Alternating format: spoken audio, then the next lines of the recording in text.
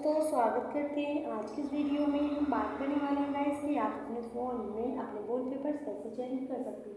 वो एक video simple simple step है आपको फॉलो करके आप अपने फ़ोन में अपना वॉलपेपर चेंज कर सकते हैं। तो वीडियो की चलो देखते हैं वीडियो लास्ट ज़रूर देखना। आइए वीडियो शुरू करते हैं। तो वीडियो शुरू करने के लिए गाइस सबसे पहले हमें अपने फ़ोन में अपनी सेटिंग को ऑन करना होगा। ऑन करने के बाद यहाँ पर आपको इस तरीके का इंटरफेस देखने को मिल जाता है। तो यहाँ पर आपको ऑप्शन देखने को मिल जाता है।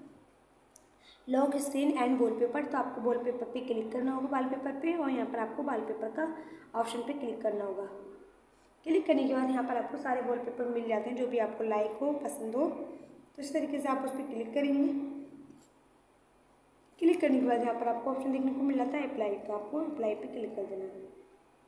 क्लिक करने के बाद अगर आप लॉक स्क्रीन पे लगाना चाहते हैं तो लॉक स्क्रीन पे क्लिक कर देंगे। डेस्कटॉप पे लगाना चाहते हैं तो डेस्कटॉप पे लगा देंगे। अगर आप दोनों पे लगाना चाहते हैं तो आप सेट एस डॉक्टर पर लगा तो भाई इस तरीके से आप अपने फ़ोन में अपने वॉलपेपर चेंज कर सकते हैं और लगा भी सकते हैं। तो भाई वीडियो पसंद आई हो तो शेयर करें लाइक करें चैनल पर नए हो तो चैनल को सब्सक्राइब करें। मिलते हैं अगली नेक्स्ट वीडियो में। तब तक के लिए bye bye and take care